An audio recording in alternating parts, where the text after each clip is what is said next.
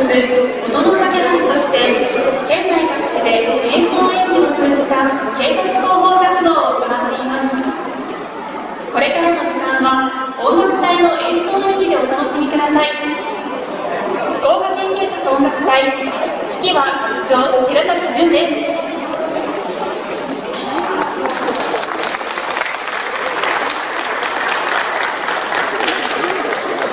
最初の曲はロックアナウンサクロックをお送りしました続いては福岡県出身の人気漫画家松本零士さんのアニメ作品の中から「銀河鉄道999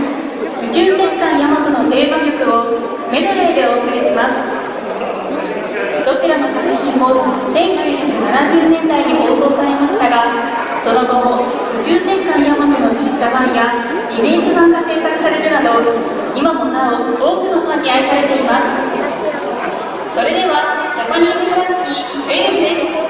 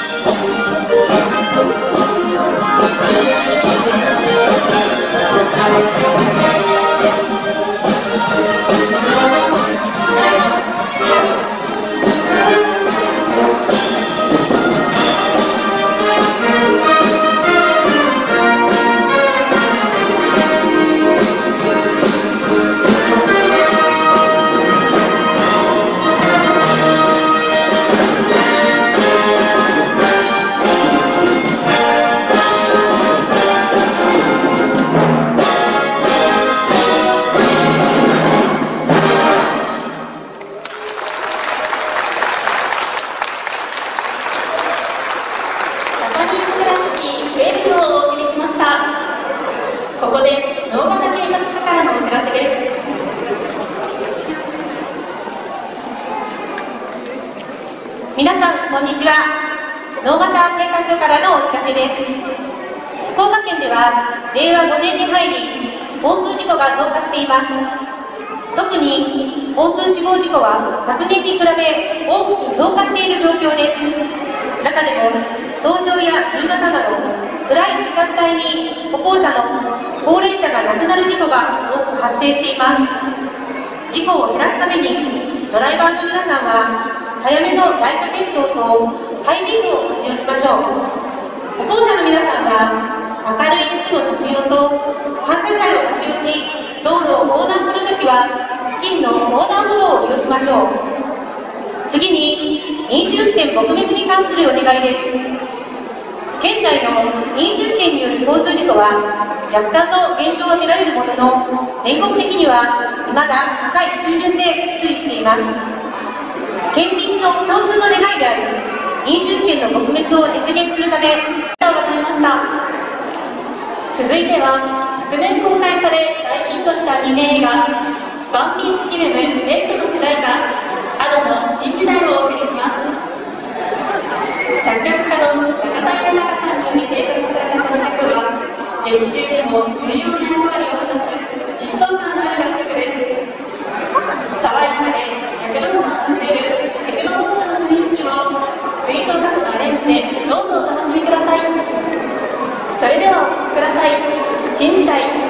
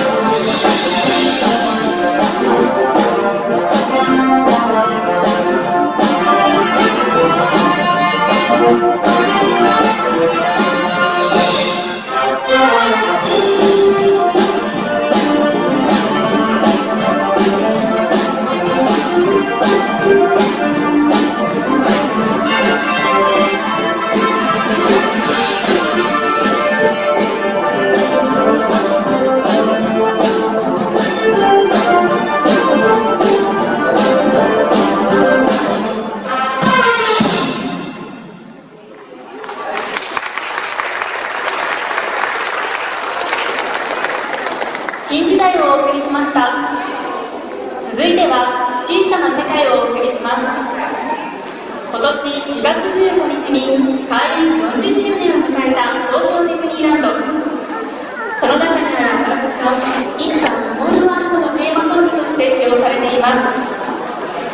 小学校の教科書にも掲載されるなど皆さんも一度は聞いたことがあるのではないでしょうか。それではお聴きください。小さな世界。